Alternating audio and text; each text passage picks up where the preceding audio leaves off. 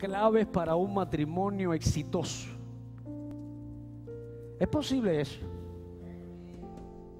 ¿Existe eso? Un matrimonio exitoso. Dice la palabra. Porque el marido es cabeza de la mujer, así como Cristo es cabeza de la iglesia, la cual es su cuerpo, y Él es su Salvador. Así que como la iglesia está sujeta a Cristo, así también las casadas lo estén a sus maridos en algunas cosas. No dice ahí en todo. En todo. Maridos, escúcheme bien los maridos. ¿Dónde están los maridos? Levanten la mano a los maridos. Maridos, amad a vuestras mujeres, a una sola, aquí está en plural, refiriéndose a muchas parejas. No, no vaya a ser que usted piense amar a vuestras mujeres. No, porque hoy dicen que hay siete mujeres para cada hombre. Pero eso no es para ti. Para ti hay una sola. Bien. Amad. Ok. Amad a vuestras mujeres, así como Cristo amó a la iglesia y se entregó a sí mismo por ella, para santificarla, habiéndola purificado en el lavamiento del agua por la palabra, a fin de presentársela a sí mismo una iglesia gloriosa que no tuviese mancha ni arruga, ni cosa semejante, sino que fuese santa y sin mancha. Así también los maridos deben amar a las mujeres como a sus mismos cuerpos. El que ama a su mujer, a sí mismo se ama. Porque nadie aborreció jamás su propia carne, sino que la sustenta y la cuida como también Cristo a la iglesia. Porque somos miembros de su cuerpo, de su carne y de su hueso. Por eso dejará el hombre a su padre y a su madre y se unirá a su mujer y los dos serán una sola carne. Grande es este misterio, mas yo digo esto respecto a Cristo y de la iglesia. Por lo demás, cada uno de vosotros ame también a su mujer como a sí mismo. Y la mujer, ¿dónde están las mujeres? ¿Dónde están las mujeres? La mujer no escuché el amén ese. ¿Las mujeres dónde están? Y si la mujer respete a su marido. ¿Estamos aquí? No oigo amén ahora. ¿Ok? Vamos a orar. Esta es tu palabra. Bendícela, Señor. Santifícala. En esta mañana y habla tu pueblo, habla tu iglesia.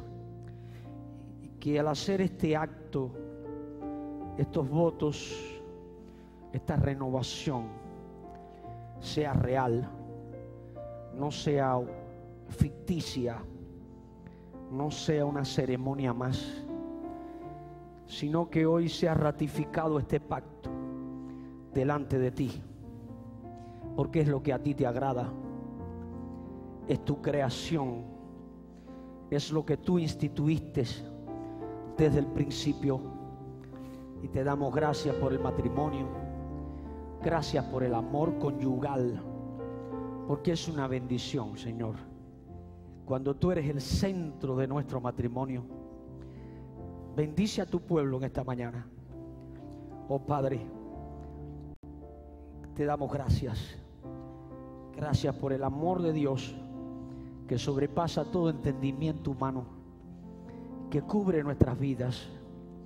En un mundo depauperado, en un mundo frío, en un mundo desenfrenado, en un mundo donde nadie quiera a nadie, donde todo el mundo, Señor, se desprecia, un mundo de violencia, de odio, de contiendas y de pleitos, de divorcios, de infidelidades, de adulterios, de fornicación, de lascivia, de lujuria.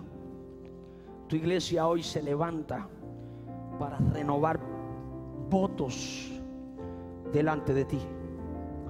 Y sabemos que todo lo podemos en Cristo que nos fortalece. Sabemos que con Cristo es posible, oh Señor, vivir la vida matrimonial disfrutar del matrimonio en bendición, en armonía, Padre. En el nombre de Jesús. Amén. Y amén. Puede sentarse. Dale un aplauso fuerte al Señor. Fuerte ese aplauso, vamos.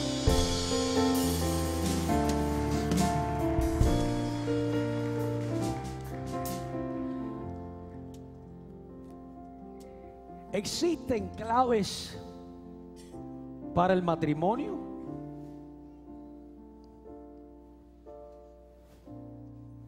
¿Existen claves, pasos para usted experimentar y vivir armonía matrimonial con su cónyuge? Existen principios, pero no, pasos. No hay un sistema que nos pueda llevar a vivir un matrimonio estable, bendecido y fructífero.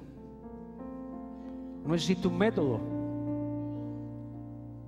Porque el matrimonio es una experiencia constante, diaria. El matrimonio es una experiencia que solo se da en la vida. Y Dios realmente nos deja para que experimentemos. Ahora bien, vivimos en un mundo donde el matrimonio ya es un acto arcaico, fuera de lugar, fuera de tiempo. De hecho, muchos han sacado sus chistes, sus bromas acerca del matrimonio. Porque hay mucha gente que no cree ya en el matrimonio. Hay mucha gente en este tiempo posmoderno que no cree en el matrimonio, ve el matrimonio como una utopía, ve el matrimonio como una falacia, ve el matrimonio como algo que no es real, no existe. Hay tanta gente herida, hay tanta gente que ha sido herida que piensa que el matrimonio no es posible. Te dicen, pastor, por experiencia, yo sé que el matrimonio no funciona. Yo tuve mi experiencia y yo creo que eso está, ya eso no existe, eso fue en otro tiempo, en los tiempos de mi abuelito, de mi tatarabuelo, en los tiempos de mis padres, donde sí había cierta, cierta seriedad, había otros principios, otros valores, pero ya eso no existe en este tiempo, pastor. Por otro lado, vivimos en un mundo open mind, mente abierta, donde los conceptos que se manejan hoy por la psicología, por la sociología, es que simplemente eh, no hay que casarse oficialmente con una persona para amarla. No hay que mantener un compromiso serio para amarla. Si sí, lo más común, lo más normal es la fornicación, las relaciones promiscuas, las relaciones prematrimoniales, que se una la persona a la otra y que como los animalitos vayan y tengan relaciones. Eso es lo que se usa hoy.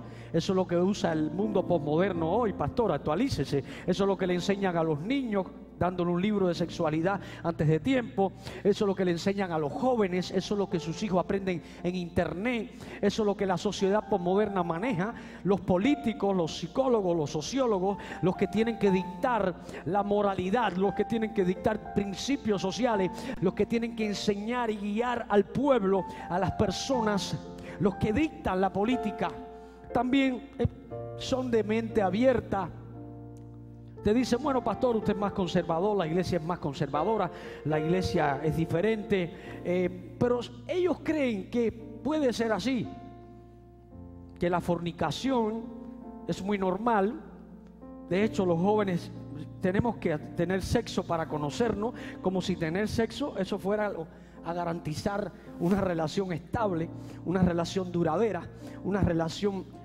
buena, una buena relación Según las estadísticas, la mayoría de las parejas jóvenes que tienen sexo ya después no vuelven más. Porque el sexo no es la esencia del amor. El sexo no es todo. Y el sexo es lindo, el sexo es bueno, el sexo es maravilloso. ¿Cuántos dicen amén por esto? No, es un amén pálido y el sexo es bueno, es una bendición de Dios. ¿Sí o no? Dios lo creó.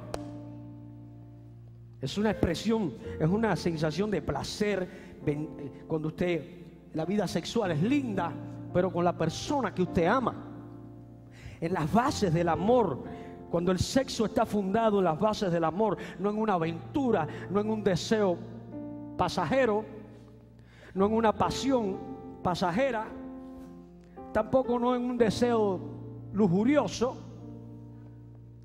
porque eso es vacío.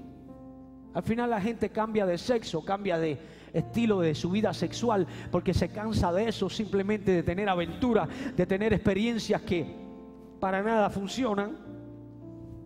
Y mucha gente hasta dice quiero quedarme solo, quiero quedarme sola, porque mi experiencia con las mujeres no ha sido buena, mi experiencia con los hombres no ha sido buena. ¿Es posible el matrimonio? ¿Es posible? ¿O esto simplemente es ficticio? ¿Esto simplemente es un espejismo? ¿O Dios se equivocó cuando creó esto? ¿Se equivocó Dios? De hecho, mucha gente ha sacado chistes. Yo traigo unos cuantos chistes aquí sobre el matrimonio. La única guerra en la que se duerme con el enemigo es en el matrimonio. Te duerme con el, el enemigo al lado. Otros dicen, el matrimonio es una situación por la que ninguna mujer obtiene lo que esperaba y ningún hombre espera lo que obtiene. Otros enseñan, el matrimonio es un proceso por el cual la media naranja se convierte en un medio limón. Al principio la media naranja, que lindo, todo muy lindo, hasta que dice usted lo que es un limón. Lo que tengo al lado mío es un ácido. Otro dice, después del desayuno, el esposo dudoso le pregunta a su esposa, mi amor, si yo me muero, ¿tú llorarías por mí? Ella le responde, claro mi amor, si tú sabes que yo lloro por cualquier cosa.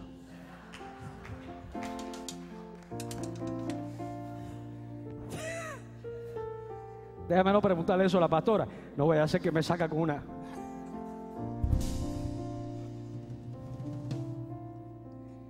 Dice otra, mi esposo habla desde el más allá. Alguien le pregunta, ¿se murió? Dice, no, es que duerme en otra habitación.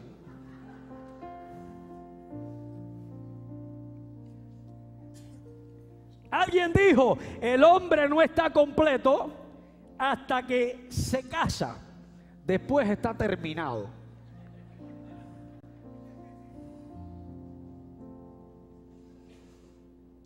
Alguien dijo también, un hombre exitoso es aquel que hace más dinero que el que su esposa pueda gastar. Una mujer exitosa es aquella que pueda encontrar un hombre así.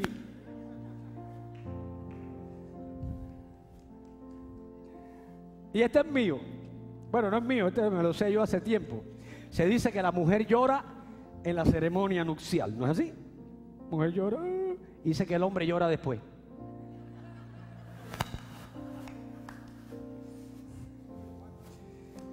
Y el último. Dice que si no fuera por el matrimonio, los hombres andarían por la vida pensando que no cometen errores. La gente se ríe. Y esto es como una ironía. La ironía de la vida. La gente se ríe de eso. Pero es la realidad. Es lo que está pasando hoy. Es lo que está sucediendo. ¿Existe un matrimonio bendecido? ¿Puede existir un matrimonio bendecido? ¿Cuántos creen que puede haber un matrimonio bendecido? ¿Cuántos creen que puede haber un matrimonio de éxito, bendecido, bajo los principios y los valores de la palabra de Dios? ¿Cuántos lo creen? Bueno, pastor, pero usted no entiende. Yo fui herido, ella me hirió. Las cosas que me hizo, las cosas que me ha hecho. Tenemos que bajar un poco en ese orgullo. Tenemos que descender un poco ese orgullo. y entender cuáles son los principios y los valores que Dios ha establecido en su palabra para que el matrimonio funcione. Satanás ha creado patrones sociales para destruir la familia. Ha puesto a pensar a los políticos, a los sociólogos, a los psicólogos, para que tome auge tratar de igualar al hombre con la mujer. Hoy hay una competencia entre el hombre y la mujer. Por ver quién es más fuerte, quién es más grande, quién es más audaz, quién es más hábil, quién es más inteligente, quién gana más dinero, quién trae más dinero a la casa. Hoy nos han hablado de la igualdad del hombre y la mujer. Y no estamos, no somos, no estamos discriminando a la mujer, ni al hombre tampoco. Pero hoy hemos tratado de igualar al hombre con la mujer, hay una competencia. Y no hay una diferencia en condición, no hay una diferencia en posición, pero sí hay una diferencia entre el hombre y la mujer en funciones. Dios los creó con funciones diferentes. El hombre tiene sus funciones como hombre, como Dios le creó, y la mujer tiene sus funciones en el matrimonio. Cada uno tiene su papel a desarrollar en el matrimonio. Pero hoy hemos querido igualar que hay una competencia entre el hombre y la mujer. Y el hombre y la mujer no son iguales. El hombre come más que la mujer, tiene más músculos que llenar, sus huesos son más largos, sus músculos son más largos, el hombre come mucho más. La mujer es más inteligente, no dicen eso, yo no sé. ¿Dónde están las mujeres aquí? A ver. Pero dicen que las mujeres tienen un cierto sentido. Y es verdad que lo tienen. Ellas tienen una intuición diferente. Ellas se dan cuenta de cosas que tú y yo no nos damos cuenta no nos percatamos de muchas cosas. Ellas son detallistas, ellas llegan a los lugares, miran, saben, observan cómo están las cosas, dónde van las cosas. Nosotros no, los hombres entramos y ya. Y ella viene y después te dice, mi hijo, ¿qué viste en esa casa? Y dice, qué sé yo, yo entré allí, saludé a la gente y me fui. Sí, pero viste qué lindo ese cuadro. Y yo no vi cuadro ninguno. Porque la mujer es de detalle, de pequeños detalles. La mujer es observadora. La mujer conversa más. Tiene 53 mil palabras para gastar diariamente. El hombre tiene 28 mil palabras para gastar en el día. Cuando él llega, quiere sentarse a leer el periódico, a ver la televisión, ella quiere hablar. Y ahí es donde tienes que respirar profundo y decir, la voy a escuchar, la voy a escuchar, la voy a escuchar. Si la estoy escuchando, la estoy escuchando, habla hija, habla hija mía. Pero son diferentes, el hombre y la mujer son diferentes. La mujer come menos, aunque hay mujeres que comen eso. Pero bueno, la mujer come menos.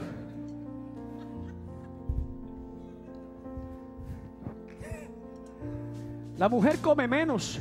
Sus músculos son más pequeños, sus huesos también. Nunca la mujer podrá igualar al hombre en fuerza. Por, más que vayan al army y carguen ladrillo y se pongan así un poco no pueden igualar al hombre. El hombre es más fuerte. El problema del hombre es cuando ve una jeringuilla delante de él. O cuando va al dentista. O cuando ve una cucaracha.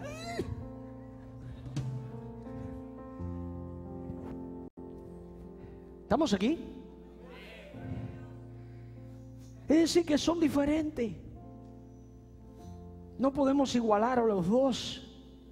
Porque Dios les creó diferente y eso es lo lindo del matrimonio, que polos opuestos se atraen. Que dos personas diferentes, con caracteres diferentes, temperamentos diferentes, aleluya, pueden armonizar, pueden llegar a amarse. Si fueran iguales, no pueden amarse. Si fueran iguales, no hay empatía. Si fueran iguales, no funciona. Dios los creó diferentes. ¿Cuántos pueden aplaudir al Señor?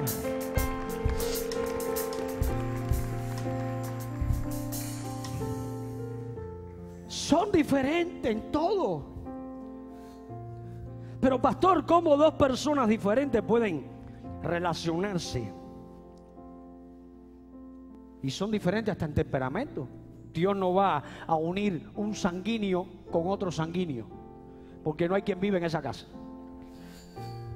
Dios no va a unir dos coléricos, ni Dios va a unir dos flemáticos, porque imagínese usted todo el tiempo fuera. Cariño, alcánzame el, plato. Y ella, voy, aquí va el plato. La cuchara, voy, dos flemáticos. Tampoco pueden ser dos melancólicos, se pasarían todo el tiempo llorando dos. mira eso. Se ponen a ver algo en el televisor.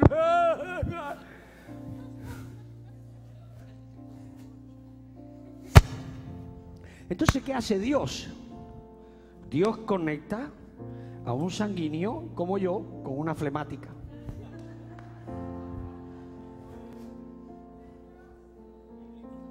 Y el flemático tiene sus virtudes. Tal vez el flemático es más lento, pierde oportunidades. Pero el flemático es más calculador, piensa más las cosas, no se lanza antes de pensar. El sanguíneo no. El sanguíneo aprovecha las oportunidades, pero a veces se le va la mano. Porque el sanguíneo se tira por el barranco para abajo. Y cuando va gritando dice, Moraima.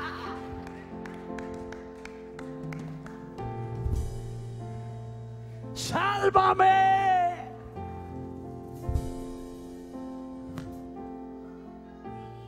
Y el melancólico también tiene sus virtudes. melancólico tiene sus virtudes también. Dice que los melancólicos son muy inteligentes. ¿Eh? Y los coléricos también. Lo único que el colérico se pone bravo fácilmente. me voy de aquí. que Deja irme para no pecar. Porque me bajo de la cruz ahora mismo. Y si yo me bajo de la cruz. ¿Y quién dijo que tú te subes a la cruz? El que se subió a la cruz fue Cristo. Aquí nadie se ha subido a la cruz. Solo Cristo. Apláudele fuerte al Señor. Entonces, ¿cuál es el punto, pastor? ¿Cuál es el punto? Que tiene que haber un balance. Diga conmigo, balance. Para que el matrimonio funcione tiene que haber un balance, cada uno saber cuál es su función, cuál es su papel.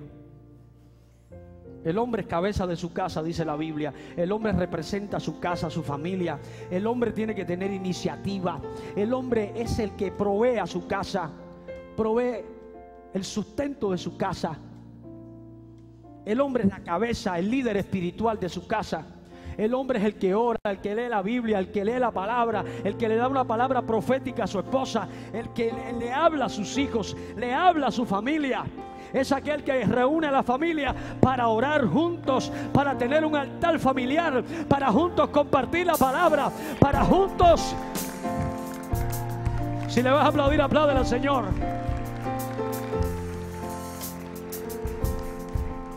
A la mujer le gusta que el hombre tenga iniciativa. A la mujer le gusta que el hombre sea hombre. Quiere flojito al lado de ella.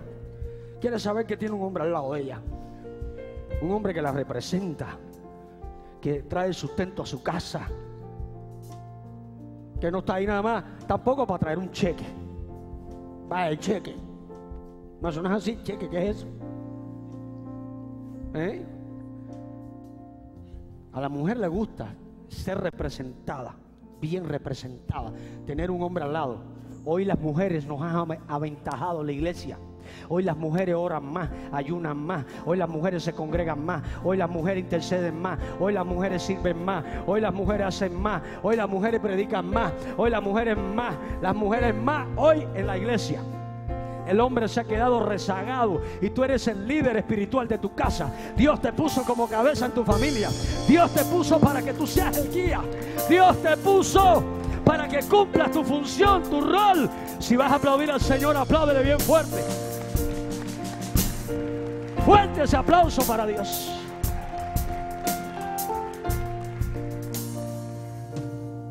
Y la mujer es la ayuda idónea.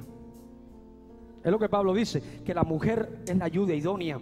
La mujer está para levantar a su esposo, no para hundirlo. La mujer está para en los momentos difíciles de la economía de este país, los momentos difíciles por los que se pasa en este país que destruye matrimonio, familia, todo el mundo, disuelve todo. En este país tu esposa está para apoyarte, está para ayudarte, está para orar por ti, está para decirte, mi amor, vamos a salir de esta crisis. Mi amor, vamos a salir adelante. Mi amor, no nos vamos a quedar donde estamos. Mi amor, tenemos un Dios poderoso. Vamos a orar. Mira la palabra dice, Dios dice en su palabra, alguien puede aplaudir al Señor. Si le vas a aplaudir, apláudele fuerte.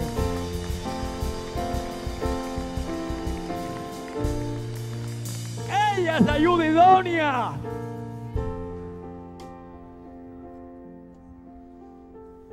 La sociedad por un tiempo fue machista. Nosotros que venimos de, la, de los, del mundo hispano, de Cuba y de México, en Cuba la gente son muy machistas, los hombres, y en México son los machos mexicanos. Órale, órale, hermano, soy macho mexicano. Y por un tiempo el machismo nos hizo daño, ¿sí o no? Mucho daño.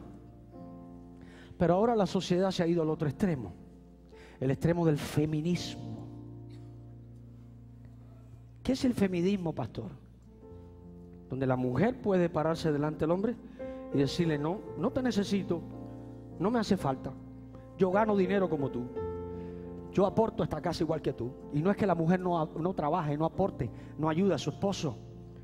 Pero ese, ese nivel de arrogancia, de competencia, de competitividad entre los dos, ese nivel de, de, enfrentarme a mi esposo y yo decirle, es una falta de respeto. Pablo dice, respete a la mujer a su esposo. Eso de decirle no, porque yo, yo también, yo puedo desafiarte, yo puedo llegar a desafiarte a ti también. Yo no te necesito. Esas mujeres mueren, mueren solas en este país. Se quedan solas. Se quedan solas. Porque Dios quiere que haya, que cada uno se respete. Diga que está a su lado, que haya respeto. Diga conmigo respeto. Cada uno se respete, cada uno en su lugar, cada uno en su posición. Tiene que haber respeto mutuo, tiene que haber consideración mutua. No te puedes creer mejor que el otro, no puedes ser orgulloso, no puedes creer que tú Y muchas de esas mujeres mueren solas. Por eso dice, no quiero ningún hombre al lado mío. No, es que ningún hombre te acerca. Ningún hombre quiere estar al lado tuyo. Porque cuando tú desafías al hombre, entonces el hombre se planta. El hombre dice, nada, pero a mí ninguna mujer me gobierna.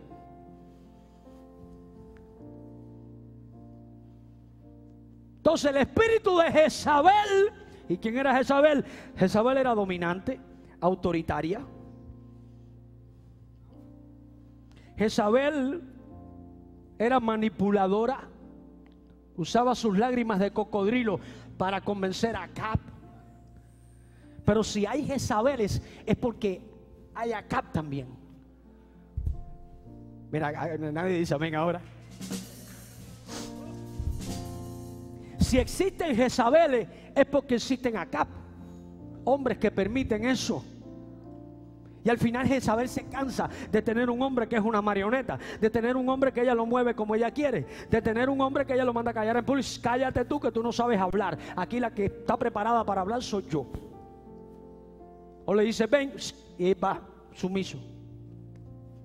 Eso no es bueno. Eso al final va, va a fracasar. Y en un pastorado igual, un pastor donde la mujer lo gobierne, eso es lo más feo que hay. Porque dice la Biblia que el pastor es cabeza de la iglesia. El, pastor que no sepa gobernar su, su casa no puede gobernar la iglesia. Ahora, el punto es, no es machismo, pero tampoco exagerar y llevar las cosas a convertirte en Jezabel. Pero tampoco es el el, machismo es exagerado, donde el hombre maltrata a su mujer de palabra, el hombre maltrata a su mujer porque cree que es su esclava. y le dice, Isaura, ven para acá. ¿Se acuerda de Isaura?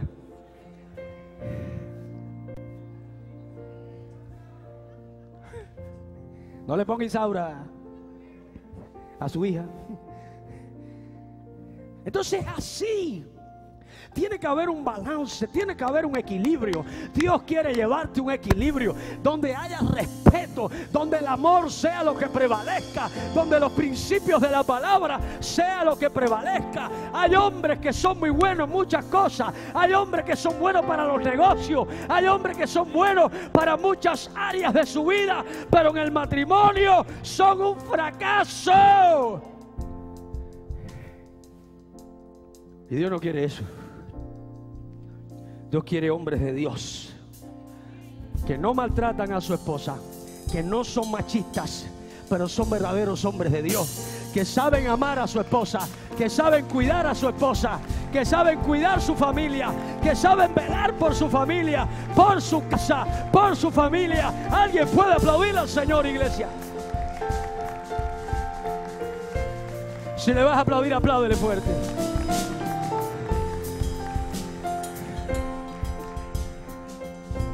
¿Y cómo se logra esto?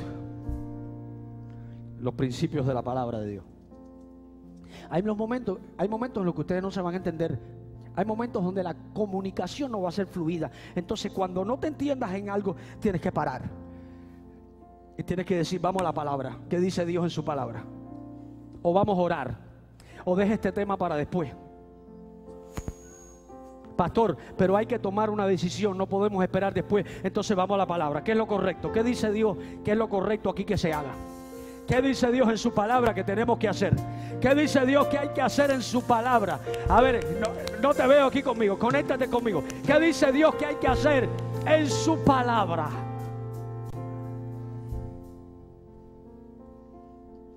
Matrimonio perfecto, no existe. Claves tampoco existen claves. No te voy a dar clave porque no tengo clave ninguna. El matrimonio es una experiencia diaria. Tú conoces a tu cónyuge cuando te casas con él. Puedes estar un año de novio, y hay que estar un año de novio por lo menos para conocerla bien y conocerlo. ¿eh? En ese tiempo todo es muy lindo, el anillo, los anillos. Anillos, pastor, eso se usa todavía. Sí, anillo. Los cristianos lo usamos. ¿Cuántos tienen anillo? A ver. Sí, yo tengo anillo. Mire, su pastor tiene anillo. Yo tengo anillo. Yo soy un hombre comprometido. No te quiera que llegue, digo, no, está aquí, está aquí, mira. Cuando hay un demonio de eso por ahí que se presenta, que quiere ver, son sacarme, le digo, hola, hola, ¿qué tal? ¿Cómo estás? Estoy bendecido, mira, estoy bendecido.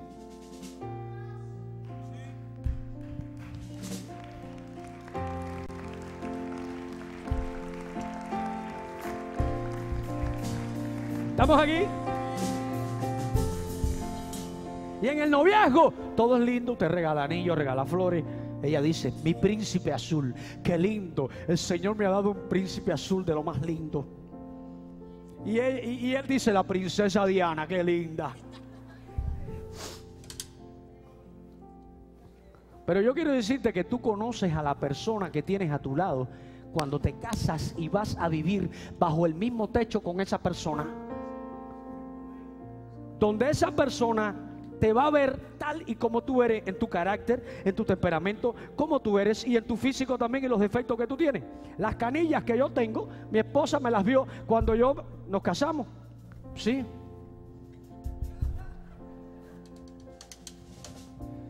Cuando tú te pongas ahí los calzones, eso, pata larga, y la sierva te vea, y ay Dios mío, santo, gloria a tu nombre. Pero yo lo quiero, lo amo, lo amo, lo amo, lo amo, lo amo. Ven acá, ven acá, te amo, te amo. Usted se sabe la anécdota de, de la soprano que estaba cantando y vio un hombre, un hombre se enamoró de ella, ella cantando, una voz bella, espectacular. dice que el hombre ahí dijo, qué lindo canta, la quiero para mí, quiero que sea mi esposa. dice que, bueno, tuvieron una relación, se casaron se conocieron. Y cuando se casaron, que fueron para la luna de miel, ella llegó y se quitó la pierna plástica que traía. Le hizo así al ojo, un ojo que traía artificial. Tomó un vaso en el agua. Y el hombre así. Después le hizo así a la dentadura postiza. En otro vaso. Bluc. Y el hombre. Y el hombre le dice, mija, canta, canta, por favor. Cántame. Por favor, canta. Ahora lo que quiero es que me cante. Si le va a aplaudir al Señor, apláudele fuerte. Cántame, hija. Necesito que me cante. Porque se enamoró de la cantante y no de ella. Qué lindo. Entonces, cuando usted vive bajo el mismo techo con esa persona, es que usted lo va a conocer bien. Los defectos físicos que tiene. Por ejemplo, yo tengo un dedo, que es el dedo del medio, que parece que a mí me sacaron por ahí, porque me lo estiraron más. Sí, me hicieron así. Óigame, yo uso el siete y medio, pero tengo que comprar el 8 por el dedo.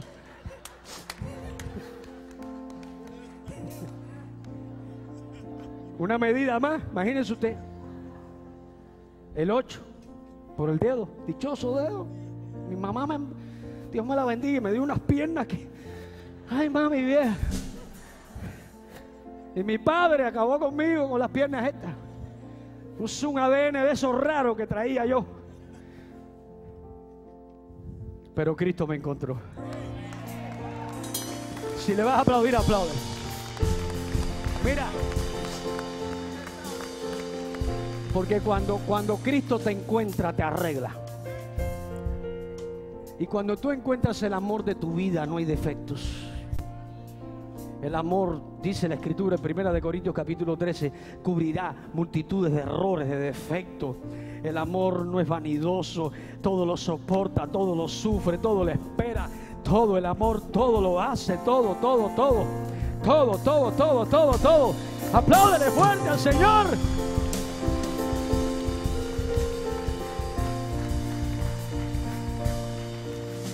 Mire, usted sabe quién es un bendecido en esta iglesia. Leo.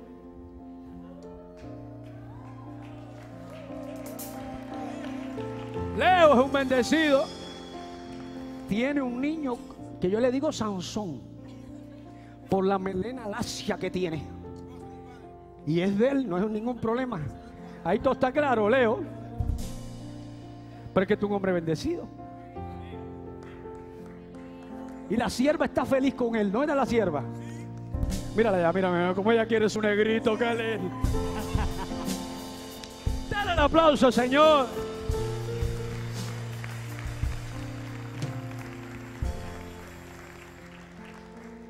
No, pero lo que me pasó a mí cuando me conoció mi esposa. Ella dijo, esto, este es IT, e el extraterrestre. Pastora me vio bien, yo era más flaquito. El Señor me ha arreglado bastante. Ahora es que me he arreglado bastante yo. Ahora, cariño, ¿no? Dice que ahora es que yo me he puesto más, más diferente.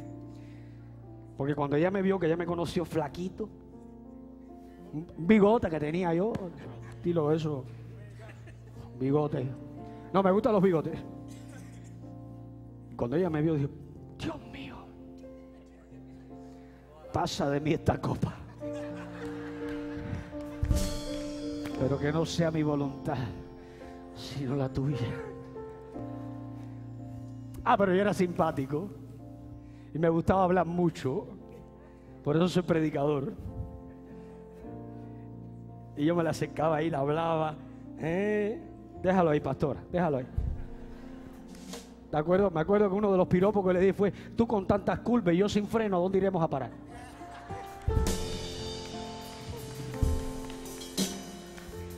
Sí, sí, sí, sí, cierto. Si quieres después conversamos. Los solteros ¿dónde están? Para dar unos cuantos tips. Hijo mío, que esto era un caso crítico. Esto era un caso crítico.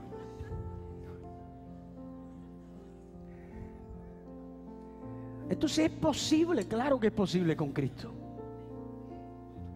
Claro que es posible en los vínculos que Dios ha establecido. Claro que es posible en la palabra de Dios. Por eso las jovencitas no se apuren. Jovencitas, cuiden su virginidad. ¿Qué, ¿Qué, es eso? Virginidad. Sí, su virginidad, cuídenla. No se la den a cualquier impío de la calle. Que lo que vienen es a usarte, a manipularte, a limpiarse las manos contigo. Dios puso ese sello ahí llamado imen. El imen es un sello que Dios puso ahí para que ese sello lo quite el hombre que te va a amar para toda tu vida. El hombre que te va a respetar y amar para toda tu vida. Dale el aplauso, Señor.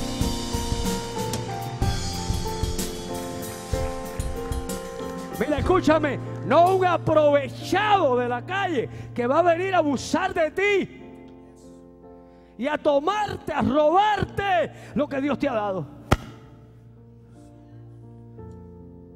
Pastor, señoritas, ya ni los bakers, ya no hay señorita ni... Y no estoy hablando de las que tuvieron una experiencia en el mundo y ahora están en Cristo. Pueden hacer su boda bien linda. Porque el que está en Cristo, nueva criatura, es las cosas viejas pasar. ¿Sí o no? Pero Dios quiere que eso sea como Él lo ha establecido. Y termino con esto. Si queremos que tener un matrimonio bendecido, aunque este tema de matrimonio es muy amplio, tendríamos que dar varias conferencias sobre matrimonio,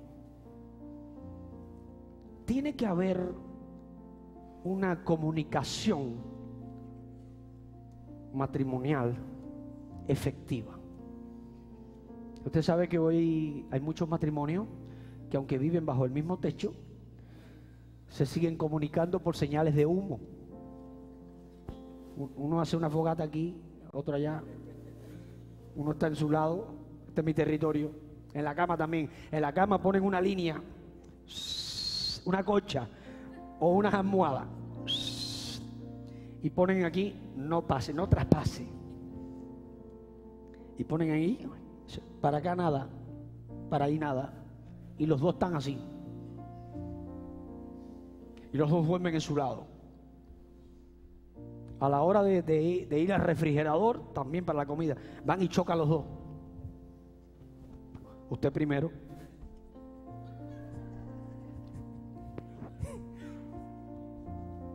Ahora usted.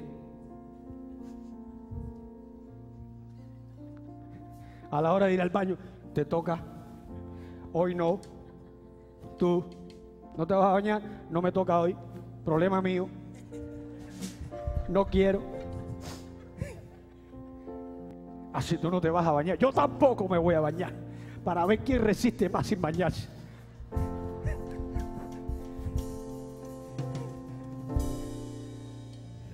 Qué bobería, ¿eh? Dile que está solo. Qué bobería.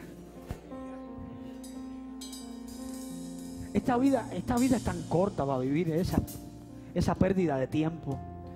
Los dos bravos se pasan tres días, cuatro días sin llamarse. Y el hombre dice, no la voy a llamar nada. Para que vea que yo sí aguanto, yo resisto. Yo me adapto a ella. Y ella dice, yo tampoco. Ya al quinto día, usted ve los dos sufriendo. Usted los ve que se pasan por al lado y...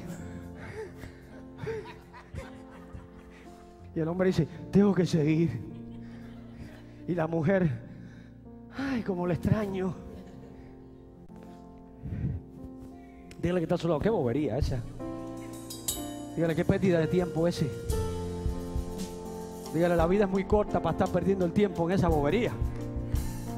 Aquí lo que hay es que amarse, aquí lo que hay es que estar los dos juntos, vivir los años de vida que les queda, el tiempo, vivir el tiempo juntos, amándose. Alguien puede aplaudir al Señor. Si le vas a aplaudir, apláudele fuerte. ¡Qué bobería esa! ¡Qué pérdida de tiempo! Pero es verdad que matrimonio perfecto no hay, eso no existe. No existe. Ni el de Adán ni Eva tampoco. Mira Eva lo que hizo. Y después Adán lo hizo también. Pero no imposible. Imposible no. Mire, imposible es una palabra que solo aparece en el diccionario de los tontos. Igual que esto de estúpido, no existen opiniones estúpidas, sino estúpidos que opinan, gente que son, que dicen bobería. No es imposible. Con Cristo sí se puede. ¿Cuántos creen que con Cristo sí se puede? La gente que cree que con Cristo se puede, dígame bien fuerte. Porque Pablo el apóstol dijo, todo lo puedo en Cristo que me fortalece. Apláudele fuerte al Señor.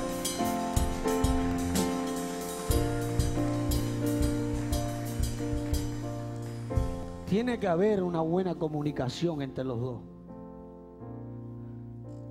Y la comunicación descansa en las bases del respeto, la consideración. Lo que tú no quieres que te hagan a ti, no se lo hagas al otro. No puede haber autocontrol. ¿Qué cosa es autocontrol? Escándalo, gritería.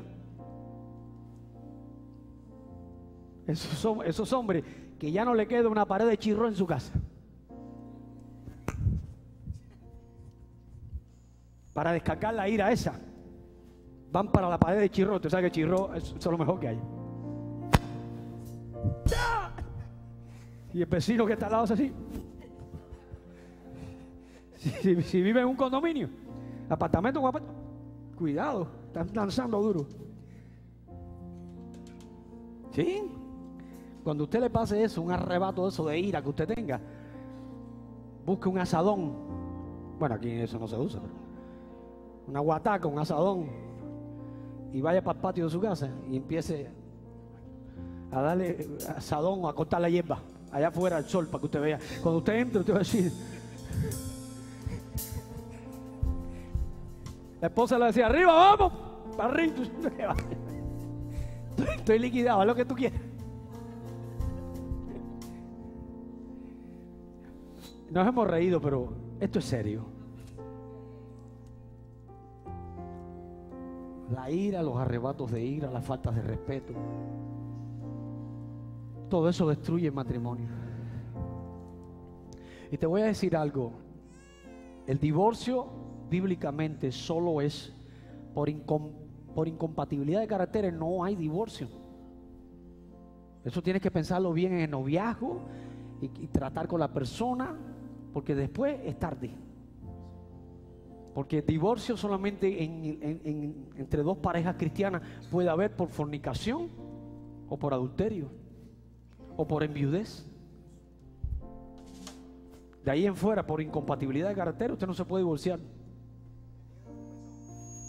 ¿Cuántos años, Berky, cuántos años te lleva con el siervo? 32 años. ¿Cómo lo han hecho ustedes? A ver, ¿cómo lo han hecho? No ha sido fácil. Hay que darle una, medalla a usted. ¿No? Y a ella una corona. No ha sido fácil. Nunca será fácil. Pero es que nada en esta vida será fácil. No hay nada en esta vida que sea fácil. ¿Hay algo fácil? ¿Usted conoce algo que sea fácil en esta vida? No será fácil pero no es imposible. Con Cristo al timón, navegamos seguro. Dale el aplauso, Señor, si puede. Solamente, solamente ceder un poco nuestro orgullo a este libro que está aquí. Ceder tu orgullo aquí, mira. A lo que a Dios le agrada. La Biblia dice iraos, pero no pequéis. No es que tú no puedas irarte, tú puedes airarte. En un momento puedes acalorarte. Es una emoción, es una válvula de escape en el ser humano. Pero lo que tú no puedes pecar. ¿Cuándo pecas? Cuando ofendes a tu esposa. La hieres. A veces no cuando damos golpe Hay golpes que son, hay golpes que matan más que lo físico, que es de palabra. Si vivimos por este libro, ponemos por obra los principios bíblicos. Lo que dice Dios aquí en su palabra, usted va a poder tener un matrimonio bendecido. Mi esposa y yo también hemos tenido momentos de desacuerdo. Pero usted sabe qué es lo que ha prevalecido en nosotros.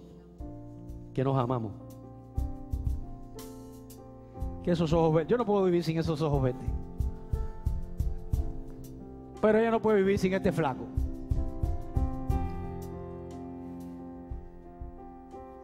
Si yo volviera a nacer, la escogería a ella otra vez.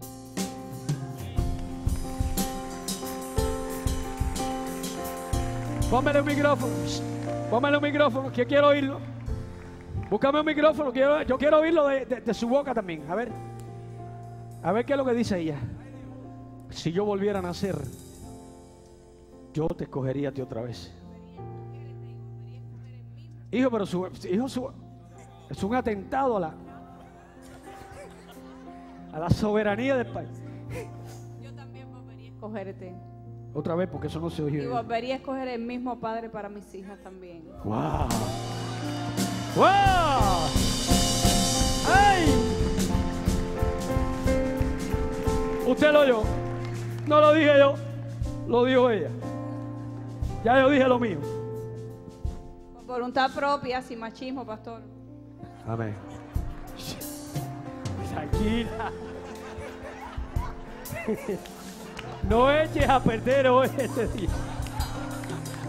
Todo está saliendo bien. Eso es lo que usted está predicando. Pero todo está saliendo bien, pastora. Todo está de maravilla. No eche a perder el día. No, no va a ser que se complique esto. y terminemos los dos con el pelo en la sopa. ¿Sabes cuánto el pelo en la sopa? ¿Eh? Mira, para ellos que son nuevos, dice que una pareja estaban comiendo, tomando sopa, y de pronto uno ve un pelo de uno, no se sabe de quién, en su sopa. Y dice, este pelo es tuyo. Y ella dice, no, ese pelo no es mío. Ese pelo es tuyo. Dice ella, no es tuyo. No, no es mío, es tuyo. No es tuyo, no, no es mío, no es tuyo, no es mío. Fue- Fueron y se divorciaron. Al decursar del tiempo, pasó el tiempo y se volvieron a ver.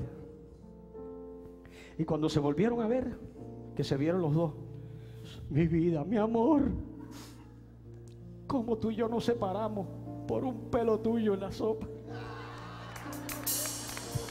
Dice ella, mío, tú sabes bien que ese pelo era tuyo. Dice, mío no, tuyo, tuyo, mío, no, tuyo, tuyo, mío. Se separaron, miraron más. Por un pelo en la sopa. Y usted cree que no, pero eso es lo que Satanás usa. Un pelo en la sopa. Pequeños detalles. Cosas que no tienen tanto valor para destruir una relación. ¿Estamos aquí? Si Dios quiere que pongamos por obra este libro, estos principios, aquí está todo. Aquí está qué camino seguir. Lo dice la escritura claramente. Que el hombre es cabeza de su casa. Y que la mujer respete a su, a su marido. Pero el hombre no abuse de su esposa. Ni la mujer le falta el respeto a su, a su esposo. Sino que cada uno viva en paz. Que cada uno busque lo que contribuye a la paz, a la armonía y a lo que es agradable delante de Dios.